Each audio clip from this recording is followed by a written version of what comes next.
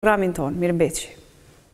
Një mijë e pesëqind e njëzet e një, Papa Leo i Dhjetë me anë të një dënimi kishtar shkishëron Martin Luterin nga Kisha Katolike. Martin Luther ishte katalizatori kryesor i protestanizmit, ishte profesor i interpretimit biblik në Universitetin e Wittenbergut në Gjermani, ku hartoi nëntëdhjetë e pesë tezat e tij që dënonin Kishën Katolike për praktikën e saj korruptive të faljes së mëkateve, ai vazhdoi punën revolucionare me vepra teologjike po aq të diskutueshme dhe novatore, dhe fjalët e tij të zjarrta nxitën reformatorët fetarë në të gjithë Evropën.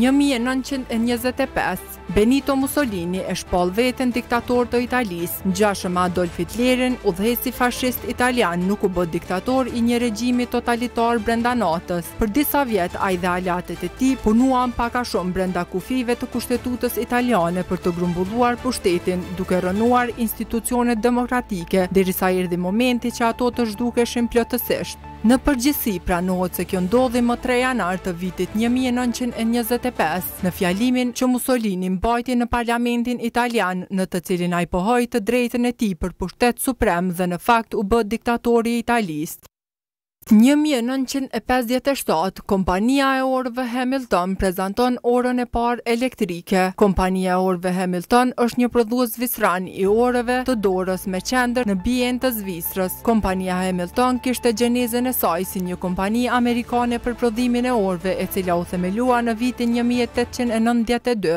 Orën e parë e prodhoi në vitin një mijë e tetëqind e nëntëdhjetë e tre. Përmes një serie bashkimesh dhe blerjesh kompania Hamilton u bë një konglomerat i larmishëm dhe u integrua më pas në grupin e famshëm Swatch.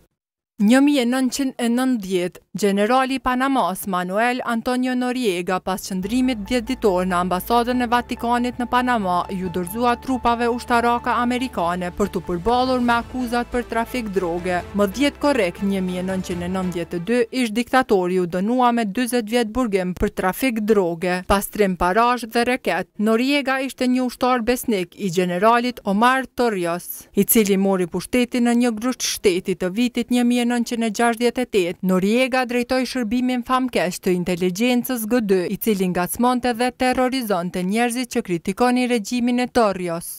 Dy mijë e katër, Mars Exploration Rover Spirit zbarkon në Planetin e Kuq, njëzet e një ditë më vonë binjaku i tij, Opportunity, gjithashtu mbërriti i sigurt në Mars, Ky ishte një nga misionet më të gjata dhe më të suksesshme në historinë e NASA-s. Spirit do të vëzhgonte gjeografinë marsiane për shtatë vjetët e ardhshëm, ndërsa Opportunity mbeti aktiv deri në qershor të vitit dy mijë e tetëmbëdhjetë. Gjatë këtij misioni, shkencëtarët njoftuan se kishin bërë një zbulim të rëndësishëm. Një studim i shkëmbinjve marsianë sugjeroi se dikur në Mars kishte pasur rrjedhje të ujit, dhe analiza e vendit të uljes së Opportunity tregoi se ai vend, Dikur kishte qenë shtrat i një deti të kripur.